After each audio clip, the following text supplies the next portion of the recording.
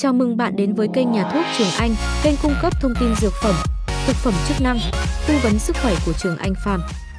Nội dung trong video này sẽ tìm hiểu về sản phẩm glucosamine. Quý độc giả thân mến, để sử dụng thuốc an toàn và hiệu quả, hãy tuân thủ đúng theo chỉ định từ bác sĩ hoặc tìm hiểu hướng dẫn sử dụng an toàn từ dược sĩ. Không tự ý sử dụng thuốc hoặc sử dụng thuốc bị chống chỉ định, vì điều này có thể gây hại cho sức khỏe. Nếu như bạn quan tâm tới thông tin về glucosamine cũng như cách sử dụng sản phẩm, thì hãy theo dõi hết video mà Trường Anh Farm chia sẻ dưới đây. Thành phần. Glucosamine.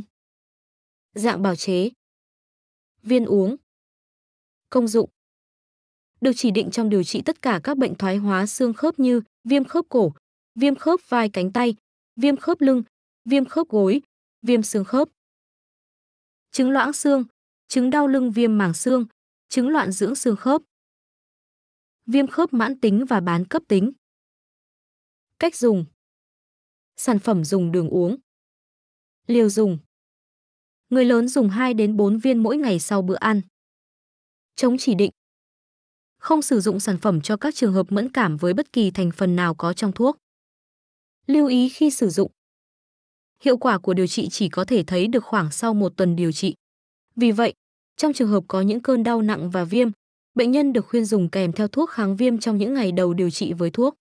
Thuốc chỉ có thể được dùng cho phụ nữ mang thai khi có sự giám sát của bác sĩ.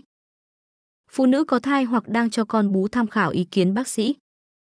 Nhà sản xuất Bờ Giao, Ấn Độ Hy vọng, qua những chia sẻ trong video này của Trường Anh Farm sẽ giúp quý bạn đọc hiểu rõ hơn về sản phẩm glucosamine, đồng thời biết cách sử dụng glucosamine sao cho đúng và hiệu quả.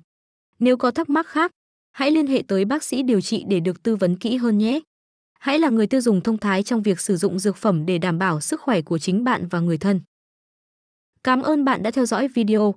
Nếu như bạn thấy video hay, có ích và để cập nhật thêm nhiều thông tin về các sản phẩm dược phẩm, mỹ phẩm cũng như các loại thuốc hoặc thực phẩm chức năng khác, vui lòng nhấn đăng ký và theo dõi kênh nhà thuốc Trường Anh của Trường Anh Farm.